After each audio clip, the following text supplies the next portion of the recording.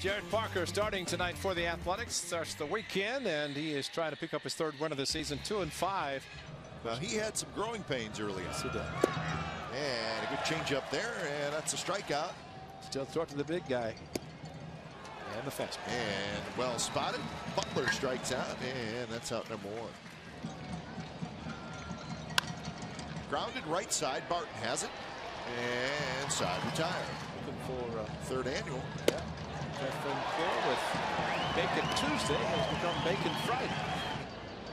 2-1 to Escobar. His line toward right. Moss to his left. He's got it. Fly ball shallow center field. Coco Crisp coming in. He's got it. Side retired.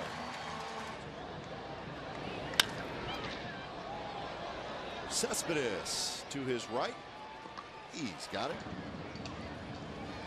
Swing. Going to miss. Fastball elevated. That's strikeout number four. Now he's ready. And the 2 2 to Butler. Swing and a miss. He struck him out with a changeup. Seven in a row retired by Jarrod Parker. Roll toward Donaldson.